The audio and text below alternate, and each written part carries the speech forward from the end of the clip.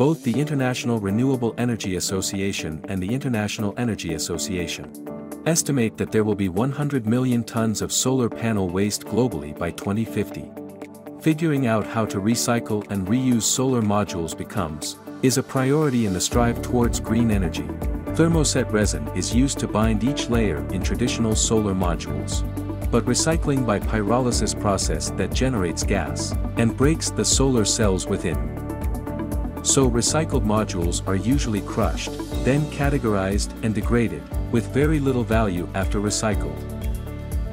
Industrial Technology Research Institute has developed an easy disassembled PV module that utilizes a patented encapsulation film and, instead of thermoset EVA, uses a thermoplastic slash thermoset bilayer which acts as a buffer.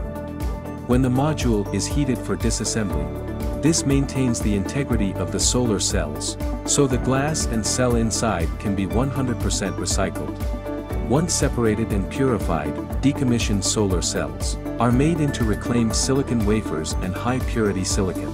The technology drastically increases the overall rate and value of recycling solar modules, from $16 million to $70 million per gigawatt. The composite materials are easy to take apart, highly water resistant, and good insulators, great for the harsh conditions of floating solar farms, and extends the module's lifespan by 25 years. Taiwan is an island located at a low latitude. Solar modules are therefore exposed to harsh conditions, and often are corroded by ocean winds. ITRI has developed a new anti-corrosion mounting and weather-resistant coating, with galvanized and single-layer anti-corrosion, weather-resistant baked paint technology, to eliminate multi-step coating from the manufacturing process.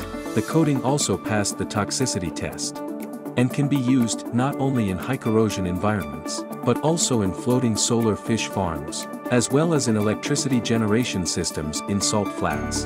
The lifespan of mountings is increased to 15 to 25 years. The new coating can be applied on site, even for traditional mountings that have already been installed.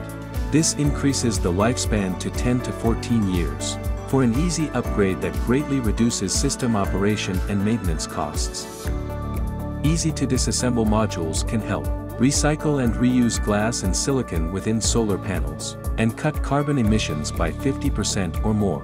The new mountings do not require high heat, and use less solvents and energy, an advantage when reducing carbon emissions.